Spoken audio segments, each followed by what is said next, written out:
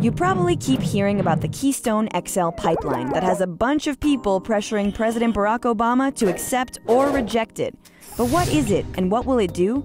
First, let's talk tar sands.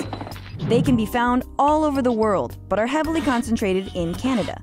It's a mix of clay, sand, and a molassesy oil that can be extracted. The world's most prominent climate scientist called it a carbon bomb. He warns exploiting tar sands will be game over for the climate. Mining oil from tar sands isn't like sticking a straw in the ground and having oil guzzle up.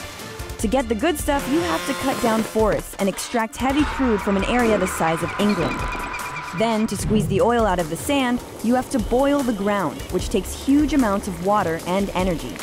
From the tar sands to your car tank, this oil produces 17% more greenhouse gas emissions than regular oil.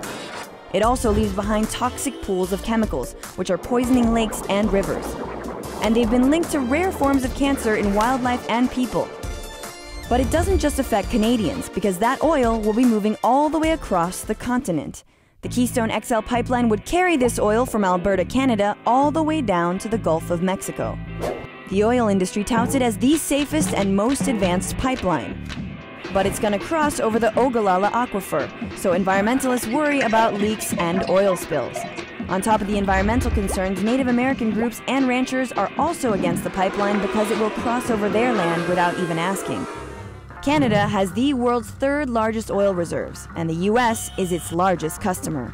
So building pipelines equals energy independence from foreign sources and more jobs but not really. Still, the oil lobby is gung ho. But at least one company is having doubts because extraction is so expensive, oil prices need to stay over 100 bucks a barrel to even make it worth it. And even if the pipeline isn't approved, the rising global demand for oil means the tar sands is going to find a way out.